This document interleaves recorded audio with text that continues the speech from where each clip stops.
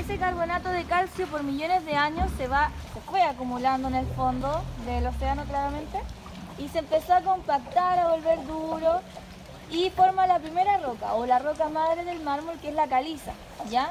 Y a esta caliza se le siguen añadiendo sedimentos y minerales y sigue formando esta roca, ¿cierto? Entonces, por eso podemos ver diferentes colores en la roca, porque tiene diferentes sedimentos y diferentes minerales, ¿ya?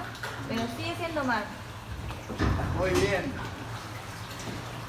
¿Son grutas, capilla o catedral?